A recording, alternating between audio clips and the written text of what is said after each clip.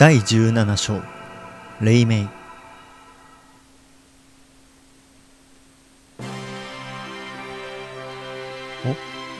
お？お？フェニキス城。すげえなんか岩に囲まれてますね。っていうかもう崖っぷちみたいな。まあまあでもあれか彼らは空を飛べるからむしろその歩けるところがない方が都合がいいんですよね多分。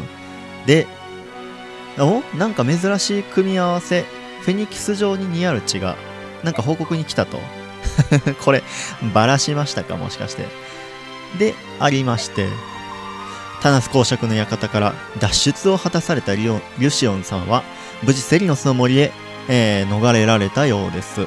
あそこまで知ってるんや。うーんまあまあまあさすがなんかカラスの方々は情報が早いですね。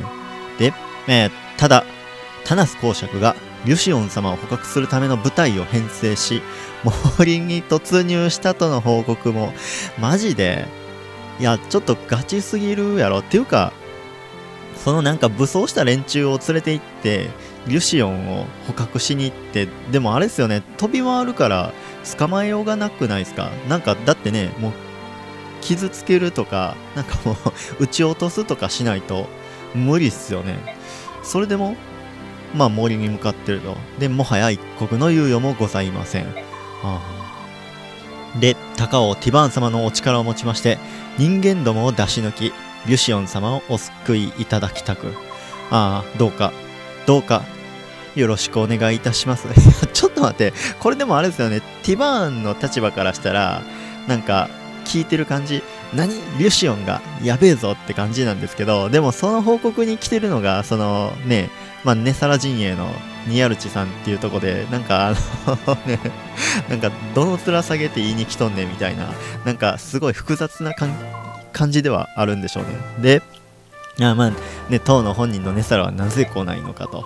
その、我が王は、こちらへ、こちらに姿を現すわけにはいきませんので、その めっちゃ、めっちゃなんか、あの、後ろめたそうな感じですよね。どういうことだ、じいさん。キルバス王は白の王子のご友人なんだろう？いえ、なんと申しますか。複雑な、あ、そういうことね。あの、その、ことの発端、まあ、ネサラが、あの、連れて行ってしまったっていうことは告げずに、ただただ人間に追われてるんで、なんとか助けませんかどうしますティバンの兄みたいな感じで来てるんか。あうまいことやりますね、ニアルツさん。で、えー、どんな事情かは知らんが、リュシオンの身に何かあったら、ただではおかんぞ。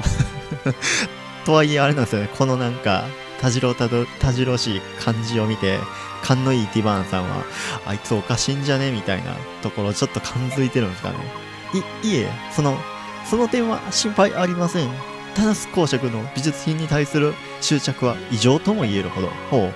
それゆえ、えー、リュシオン様に危害を加えるどころか、まともに触れることすらできないだろうと、ボッチャ王はそう申されておりました。だからまあ怪我させられる心配はないだろうと。やけに詳しいですねって思わないですかね。あだからこそ今回の取引に応じましたであだからあれか。もう全部あのこんなことになっちゃいました。ごめんなさい。って来たんか彼は 取引？あ 隠してたね。あおおいや うっかりにも程があるでしょう。これもうあれですよね。なんか その、国王の失態を、国王のやらかしたことをポロッと口に出してしまうってもう、ね、あのもうとんでもねえことやらかしましたね、この人。ちょっと待てよ。つまり、お前たちカラスの民が王子をはめたってのが、は、はめたというか、その、も、申し訳ございません。そういうことか。ネサラはユシオンのことを品物として人間に売り渡したというんだな。いえ、その、品物と申しているのは相手の方でして、その、同じことだ。まあ、品物としてくれって言われて、ほいよって渡したらそういうことですよね。で、同族であるリュシオンを取引材料として利用したことに何ら変わりない。ひぃ。ネサラのことだ。リュシオンが自ら逃げ出さなければ、ほとぼりが冷めた頃に助け出すつもりだったんだろう。あ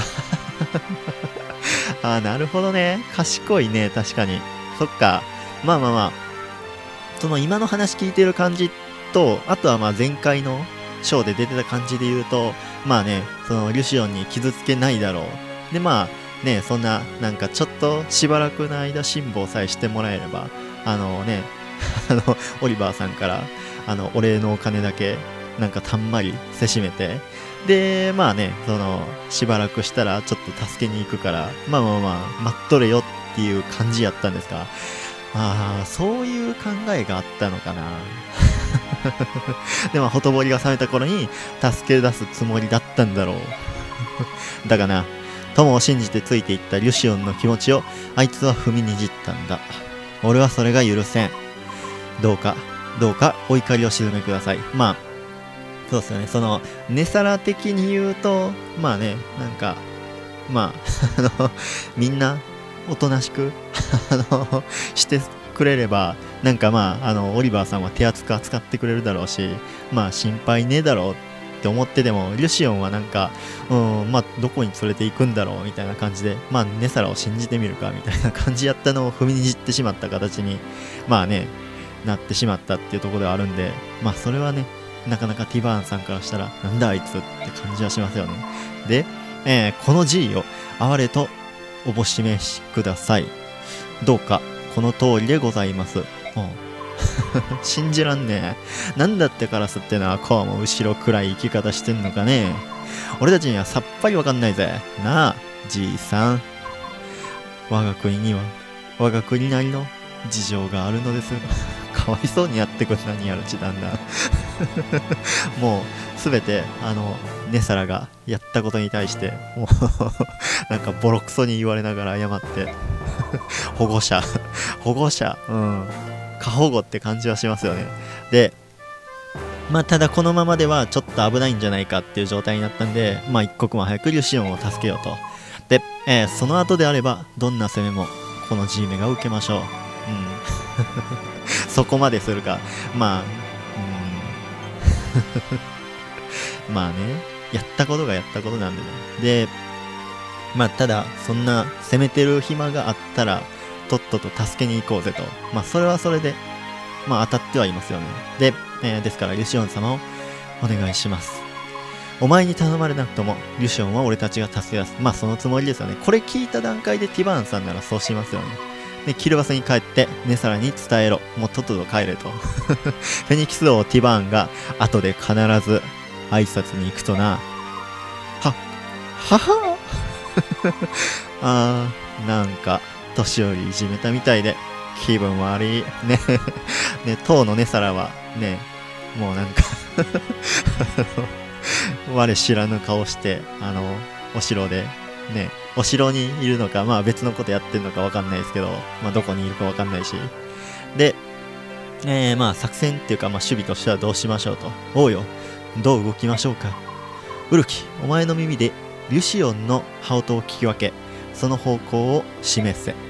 ああ。なんかあれなんですかね、その、なんか、みんながみんな目が良くて、みんながみんな耳がいいっていうよりかは、ウルキは特別耳が良くて、で、えっ、ー、と、ヤナフさんは目がいいっていう感じなのかな？どっちかっていうと。だからなんかまあそれを買われて、まあ、戦力というよりかは、そういうなんか偵察部隊的な感じでティバーンさんが側近をしてるとか。で、えー、ヤナフはまあその得意な目で、危機の割れ目から道を探り出せ。あルート、最短ルート、ナビをお願いします。お任せを。人間どもめ。20年前の過ちをまた繰り返そうって腹なら容赦しねえ。ああ、ティバーンさんも動いてるぞ。これでもあれですよね、アイク隊がティバーンさんと立ち会った場合っていうか、なんか対面してしまったらどうするんでしょうね。なんか、く、また人間が来やがったって言って襲われるんですか、もしかして。で、えっと、マナリスで、一方その頃アイクさん、セネリオか、ずいぶん早起きだな。おはようございます。僕はいつも、こんなものですよ。ああ、まあみんなより早いのか。そうか。アイクこそ、今朝はお早いですね。アイクさん寝坊しそうっすもんね。今日こそ任務完了と行きたいからな。まあそっか。まあね。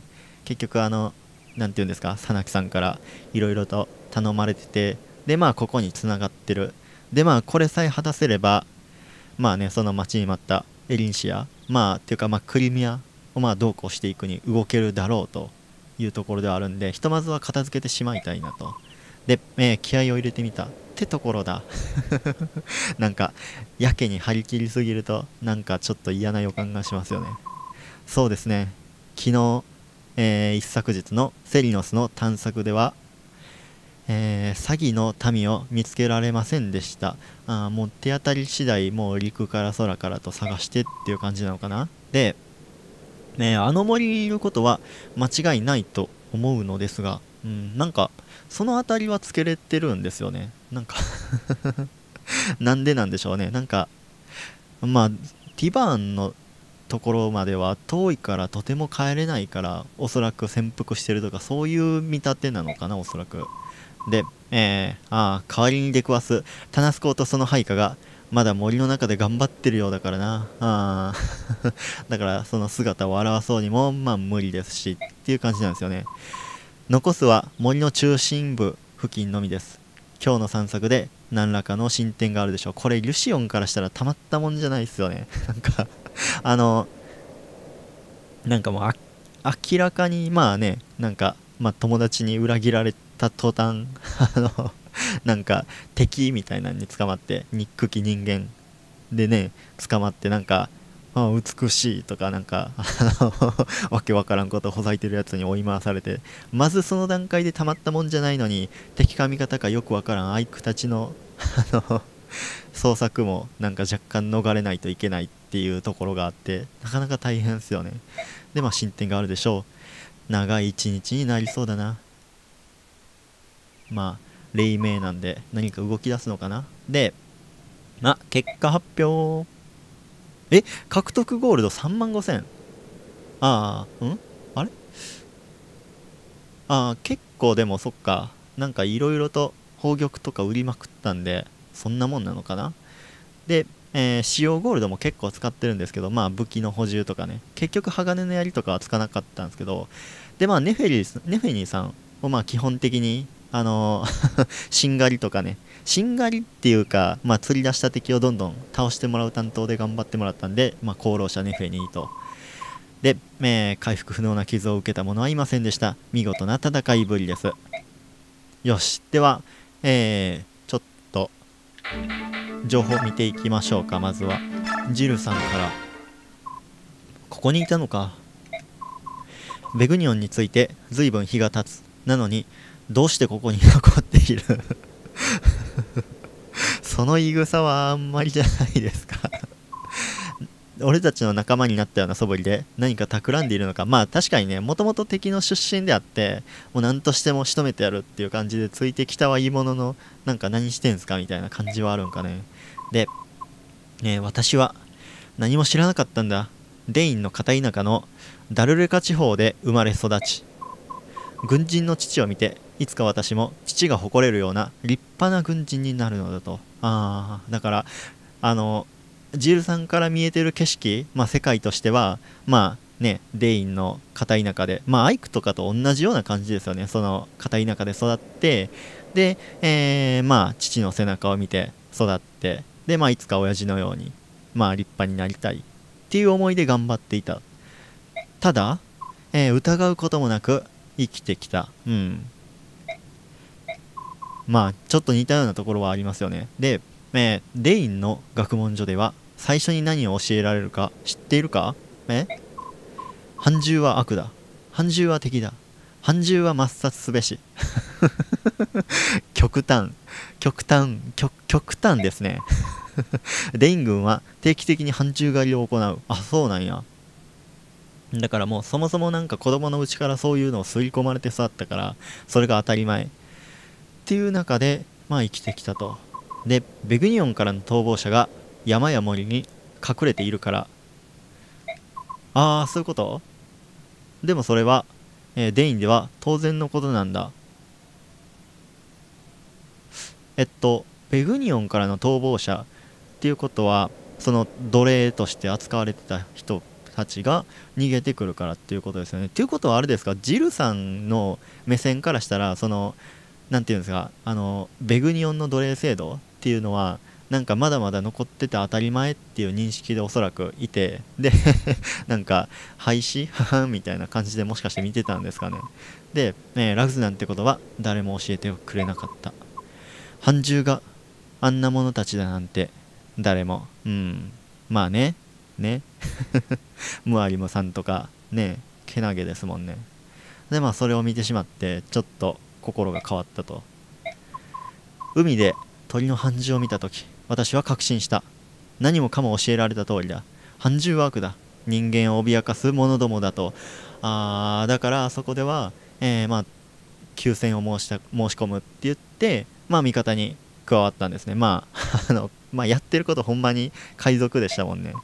だけどあの後船を押し出していた竜たちを見て分からなくなった。ああいいやつもいっぱいいるじゃんって胸が苦しくて壊れそうだった。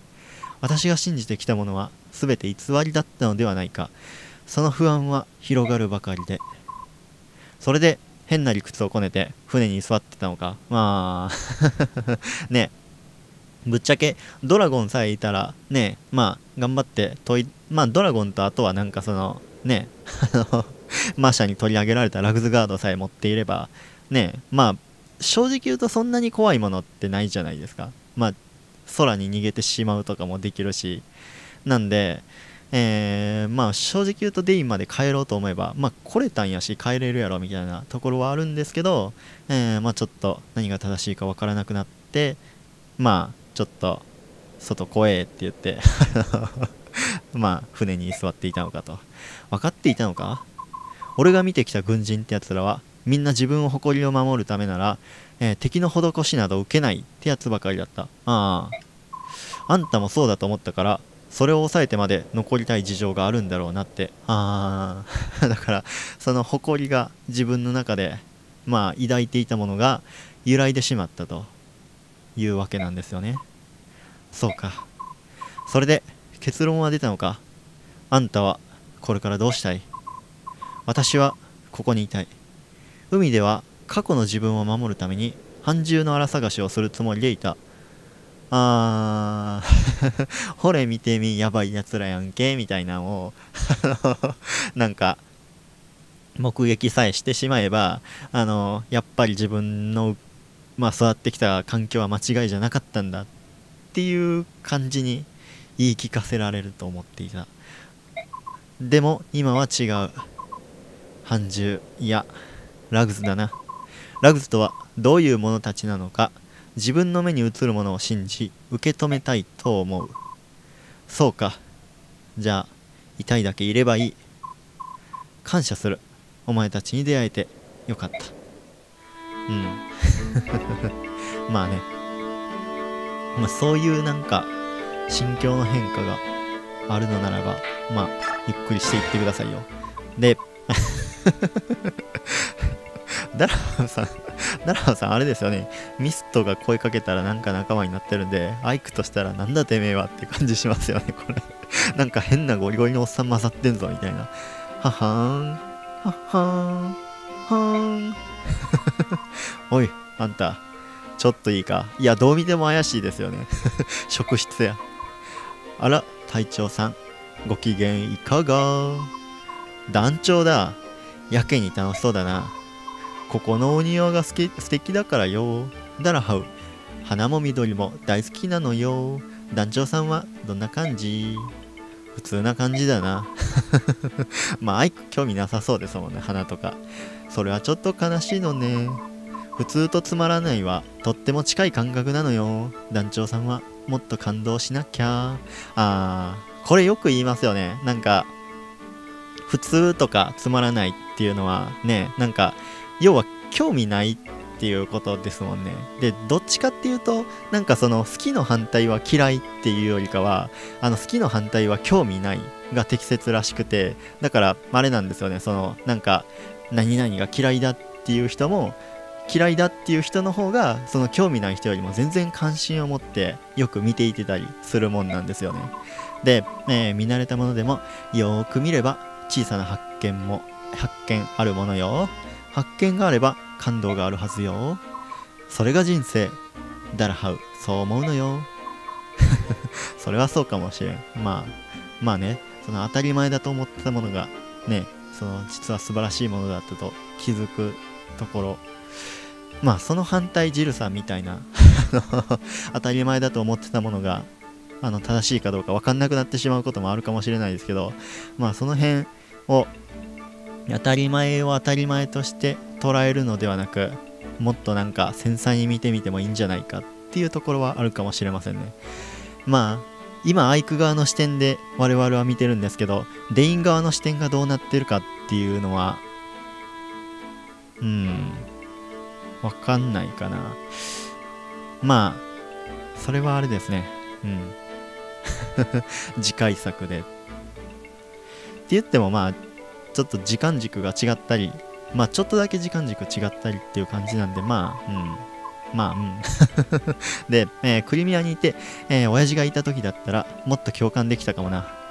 けどな、今の俺にそんな余裕はない。本当は、すぐにでもデインの奴らを潰しに行きたいぐらいなんだ。花を見てる暇なんかない。そんな風に焦ってる間は、デインに勝てない、勝てるわけないのね。なんだと？まあ、冷静さを失っているっていう感じではありますよね。まあ、ね、ちょっと別ゲーで申し訳ないんですけど、スプラトゥーンで あのエリア取られて、すげえ抑えられてる時とか、なんかもう味方とかガンガンに突っ込んでしまって死んでしまうみたいなところがあるんですけど、そういう時こそスペシャル貯めて打開しようぜみたいな まあそういう冷静さも大事ですよと。戦いはまだこれからなのよ。えー、準備の間にそんなんだったら戦う頃にはクタクタよ。まあもっと余裕持てよと。肩の力抜こうぜと。言ってしまわれた。で、召使いと。んんん？召使いで見たら、タニスさん出てきたけど、アイク殿。先日捉えたタナスコの、あー、タナスコの召使い。えー、貴殿にどうしても話したいことがあるそうだ。え？なんだ？どうしたんでしょう？あの、傭兵殿。あなた方は、その、タナスコを追って、セリノスの森を、えー、探索なさると伺いました。それがどうしたんだ？タナス港は、えー、領地が隣,、えー、隣接していることもあり、セリノスの森を熟知しています。ああ、だから気をつけなはれやと。かなり以前より、何度も何度も兵を投じては、詐欺の生き残りがいないかどうか調べさせていただいました。あよっぽどのなんか執着心を持って、あれなんですよね、その ね、もう白鷺にあき、えー、憧れていたと。そういうわけなのか。で、まあ、それもあって、だからもう庭みたいなもんなんですよね今から行くセリノスの森はだからよっぽど気をつけないとまあどこに伏兵がいるかもわかんないぞとでね、それであいつの兵は森を自由に自在に動き回れるのか。実は私も森の奥に連れて行かれたことがあります。あんたみたいな神官を神に使えるものが呼びかければ詐欺が姿を現すと考えたようです。ああ、まあ、なんか、あれですよね。なんか、詐欺は戦う術を持たないから、なんか、あの、なんていうんですか、自然にお祈りをしてるとか、なんかそういう考えっていうか、考えっていうか、まあ、行いをとってるって考えると、なんかまあ、それこそ、なんか神に使えるものとしては、なんか似たような部分があるんじゃねみたいな、フィーリング的に合うんじゃねみたいな感じで、あるんですかね。あの、けしかけたと。で、ね、数十人の清らかな乙女を連れて行って試したりもしていました。ももちろん見つからなかったんだな。はい、それだけに今回、ああ、それだけに、あれなんですか、オリバーさん、よっしゃーってなってるんですよね。法外な金額を払って、セリノスの王族を手に入れた時の喜びようは、常軌を逸したものでした。バグっちゃったんですね。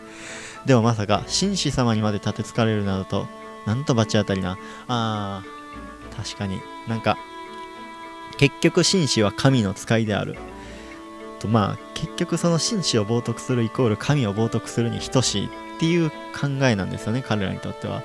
その立場であったあのまあオリバーさんもあれですよね。なんかなんていうんですか。白魔法使い的な感じのところで言うとどっちかっていうとまあ非常にそっち寄りのなんかあの聖職者寄りの立場の人のはずなんですけど、えー、まあそんなお方がまさか紳士様に立てつかれるなどとよっぽどですよね。で、えー、それであんたはあいつを裏切ってでも森について知っていることを教えてくれようと思ったんだな。まあ、さすがにそれは、あれですよね。なんか、いくら望みが叶ったとはいえ、神に背くことは許さんぞと、そういうわけなんですよね。はい。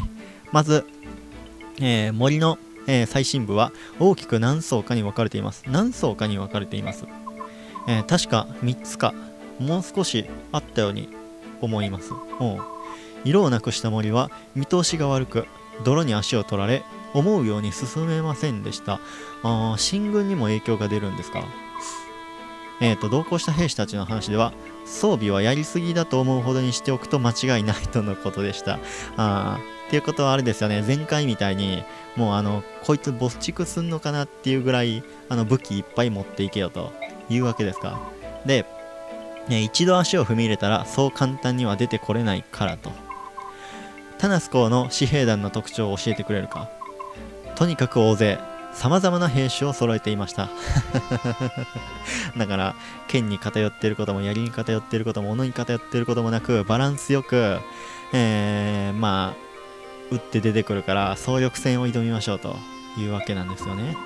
特に、騎馬部隊と魔導士部隊、あこの2つが強力だと聞いたように思います。っていうことは、えー、っと、騎馬対策と魔導士対策なんですよね。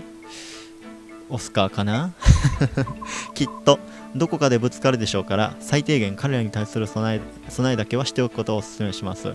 なんでえー、まあ魔法の対策はまあ魔法防御が高い。ミストとかオスタオスカーとかその辺を使っていくしかないか。で、えー、私の両親はあとはあれですねマーシャさんかな、えー、セリノスの大虐殺に参加しました。老人となった今でもあの夜のことを思い出しては夜中に泣きながら祈っています、うん、私は両親の助けになりたくて聖職に就いたというのに雇われた先がタナスコの館で そんなに嫌そうな言い方を まあよっぽどブラックやったんでしょうね。あの方の悪事を知りながらも、えー、元老院議員という地位が恐ろしくこれまで何もできませんでした。うん。まあね。志は同じだったはずなんですけども。まあ立場が違ったり、うん。まあ、考えの違いとかで、まあ、越えてはいけない一線を越えてしまったと。傭兵殿どうかあのセリノスの若者を救ってあげてください。どうかお願いします。分かっている。あんな奴の手にミスミス渡すつもりはない。はい。ということでえー、っと武器はいっぱいいるんですね。それだけは分かればまあまあまあ。ということでちょっとえー、っとどうしようかな。準備していきましょうか。さあ支援の時間ですよ。今思い出しました。あのセネリオとアイクなかなか進まないですよね。オスカーはなんかもう話しかけたら A になっちゃいそうなんですけど今回はちょっとアイクセネリオのねカップリングをね。あの公式読めなんだセネリオさんは あの任天堂が用意した公式の読みなんでね。で、えー、っと、セネリオさん、無言。考え事をしてるのかな？セネリオ、ちょっといいか？あ、はい。どうかしましたか？アイク。いい加減話してみないか？どうしてそんなに塞ぎ込んでいるのか？あ、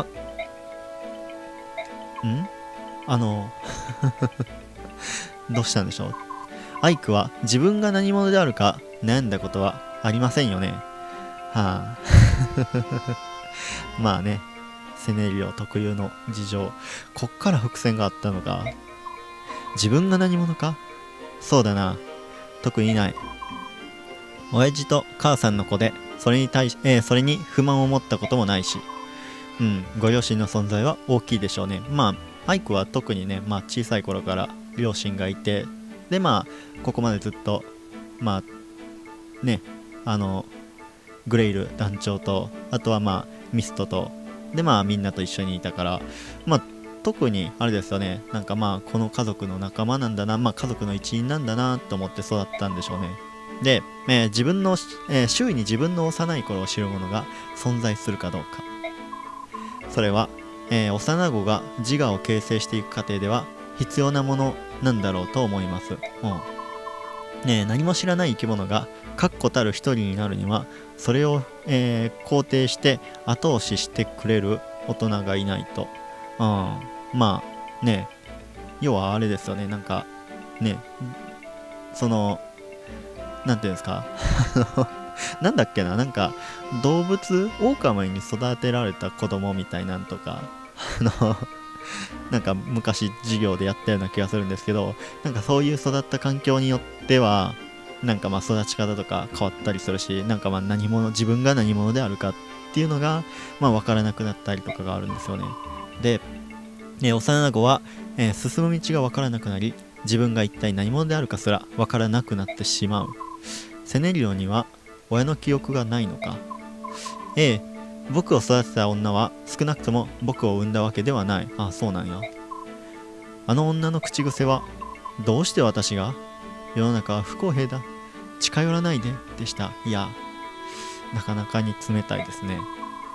一辺の愛情もなく何らかの義務によって僕の面倒を見ているだけのようでした。ああ 要はあれですよね。なんか何者かにあの任せたぞって言って任されていたと。うん。でまあ納得もせずに任されてしまったからまあそんな感じになったと。でそれから4つぐらいの時付近に住んでいた賢者が僕を引き取りたいと申し出ました。あそうなんや。また別の方のまあお家に行ったんですね。で、ね、その子供には類まれなる魔導の才能があるからといってああ魔導の才能があるからといって女は大喜びで賢者に僕を譲りました。え？なんか頼むぞって言ってなんか義務的になんか任されてたわけではなくてなんかあれなんですかね？そのなんか子供いるけどほっとけないから面倒見るかみたいななんかそういうちょっとあれなんですかね？良心的なところで見てた部分はあったんですかね？っていうことはなんか義務じゃなくて。でまあよく覚えていますと。僕があの女の笑った顔を見たのはあの時だけでした。心の底から嬉しそうでしたよ、はあ。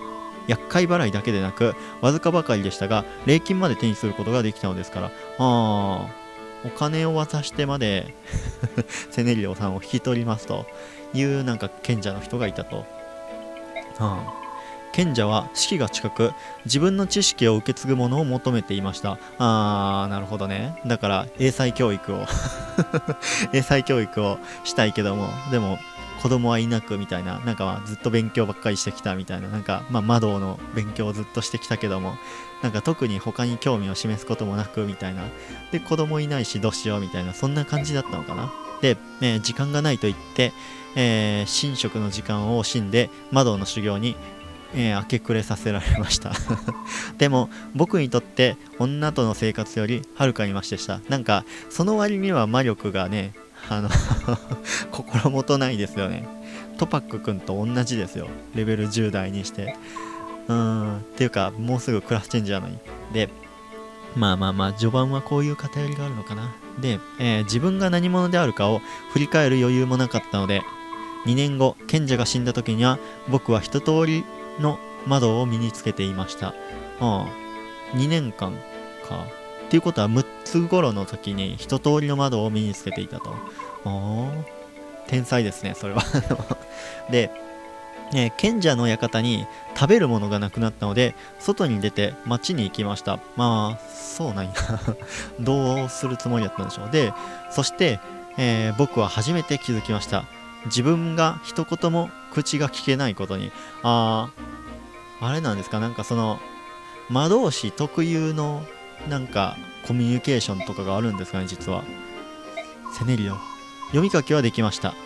相手の言葉は相手の言葉も理解できます。だけど自分では何も話せない。仕方なかったんです。女も賢者もあ僕に一方的に言葉を投げつけはしたものの返事を必要としなかったのでああそういうこと？だからもう一方的なコミュニケーションしか取ってこなかったと。だから、まあ、表現の仕方がわからなかったと。セネリオ。す、すいません。こんなくだらない話を。だからあれなんですよね、その、なんか、アイク以外の人間が、なんか、なんて言うんですか、嫌いとかっていうわけじゃなくて、なんかどう接していいかがわからないとか、そっちの方が近いのかな？くだらなくない。それが理由でお前は塞いでいたのか？もしかして幼い頃、えーお前が暮らしていたのはベグニオンだったのか？違います。僕が言いたかったのは、ん？いえ、もういいんです。すいません。失礼します。おう。まあ何を言おうとしたんでしょうね。待て、セネリオ。まあベグニオンじゃなかったらデインだろうなっていう感じでしょうけど。で、どうしよっかな。ワユ、キルロイ、ヨファ、キルロイ、ボーレ、ミスト、ティアマト、アイク、ケビン。アイ、あ、オスカー、ケビンで支援つけましょうか、これ。他のメンバー、誰出てくんねやろ。まあ、ケビンは、つけといて損はないでしょう。うん、多分、ケビンの成長を見てたら、オスカーより使いそうな感じがするんで むしろオスカーと支援つけていいのかっていう不安は若干あるんですけど、まあまあまあ。いや、ケビン、調子はどうだ？貴様、オスカー、ふぬけた挨拶をするな。まあ、あれですよね。あの、兵種は一緒なんで、あの、動ける距離とかは一緒なんでね、使いやすい支援やとは思いますよ。で、ね、今日は私の何に腹を立てているんだ 忘れもしない。入隊2年目の時だ。俺たちは馬術を競い合った。あ、そうなん？俺と相葉は素晴らしく健闘したが、ほんのわずかな差で貴様に敗北を喫したのだ。あ、そうなんや。うーん。あ、あれか。私の記憶の中では、それぞれ馬の距離は、えー僅差ではなく、えー、3馬身は離れてるけど。だから、オスカーにとってはなんか余裕で勝ってたし、印象にも残ってなかったんですかね。あの瞬間から、貴様と俺は永遠のライバルと定められたんだぞ。あ、そうなの？知らなかったよ。オスカーは相手にしてなかったんですもんね。その貴様がなぜ、この俺に一言の断りもなく、騎士団を辞めたりした？ああ、まあそれにはちょっとね、あの、うん、幼いボーレと、ね、あの、ヨハを面倒見るためには、ちょっと、なんか地元に帰んないといけないとか、多分そんなんがあるんでしたっけで、ね、俺は雪辱を果たすため、相葉と共に訓練に没頭した。あまりに没頭しすぎたせいで、貴様がいないことに気づいたのは 半年後のことだったんだぞ。あ、そうなのなんか、ずっとその間トレーニングしてたけど、まあまあまあ、あれなんかな、部屋とか、なんかクラスとか別でやったりしたら、なんかわかんないのかな、そういうのって。ちょっと待って、ケビン、それは私のせいなのか？ね、気づかんかったのはね、なんかケビン、ケビンのなんかやらかしですよねっていう感じはしますけど、うん。で、マーシャと、マーシャ、ケビンも最前線で戦ってもらうから、この辺も支援つけとこうか。うん。能力向上のため、一度天魔騎士と手合わ手合わせ願いたいのだが、すごいもうおあいつらえ向きななんか相手が見つかりますね。お、いたいた、マシャ殿。あ、探してたんですね。はい。5本。えー、一度聞こうと。と、その前に名乗られねばな。お、俺の名は、知ってます。クリミア王宮騎士5番小隊長、小隊隊長ケビンさんでしょ？あ、なんか隊長なんや。え、む、なぜの俺の名を？しかも所属まで。実は、俺がさっきの戦いで、密かに手柄を立てていたとか。だが、思い当たる節はないな。あの、いや、あの、そこは思い当たる節残してくださいよ。あのー、ひょっとして、ありえんと思うが、この俺がととてつもない失敗をした？いや、そんな覚えもないぞ。何してたんだ、おめえは？あのー、それとも、俺の武勇が他国にも響き渡った？いやいや、いくらなんでもそれは。だがありえない話ではないな。他の可能性としては、あのー な、なんだ？驚くじゃないか。ケビンさんの名前ならみんな知ってますよ。だって戦う前にいつも名乗ってるじゃないですか。あ、そうなん？だから、あれなんか、あの、ようよう我こそはって言って、クリミア騎士、なんか小隊長、5番隊長みたいな、名乗りながら戦ってるんですか？で、えーああ、そうなんですね。我こそは、クリミア王宮騎士クリミア王国王宮騎士5番小隊長ケビンなりってあやっぱそうなんやなるほどそういうことか でご用は何です？え？私に用があったんじゃないんですか？ああ、そうだ。えっ、ー、と、ん？何だったかな？思い出したら言ってくださいね。ケビンさんいや、まあまあまあ。ま、ま、マーシャもなんか、そこまで細かく答える必要はなかったなっていう感じはするんですけど、なんか空回りしてますよね、彼ら で、えー、ワユ・キルロイ。あ、キルロイさん。はい、これ。これは、剣そう。しかしまさか、キルロイさんだったとはね。てわけで、いざ勝負ど、どういうことかよくわからないんだけど、それに僕は武器が扱えなくって。えー、けどちょっとぐらいできるでしょ？いや、握、今まで握ったこともなかったし、これを構えて立っているだけでいいならそうするけど、なんだ、がっかり。この前占いで見てもらったらね、もうじき私、運命の相手に出会うって言われたの。白馬に乗ってやってくる私の宿命のライバル期待してたのにな。まあキルロイさん馬乗れないですからね。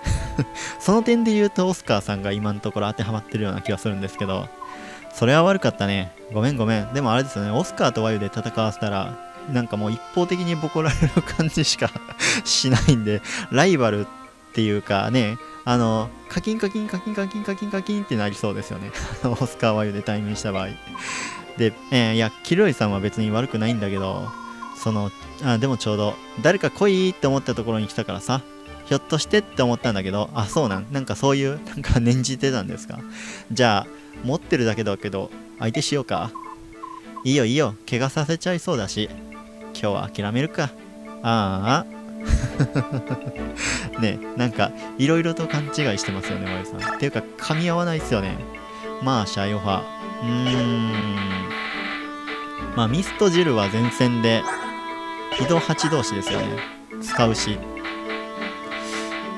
ボーレの存在を忘れてたな。ボーレ、そっか、そっか、そうっすよね。ボーレって誰と支援組めんのやろ。ティアマトミストチャップ。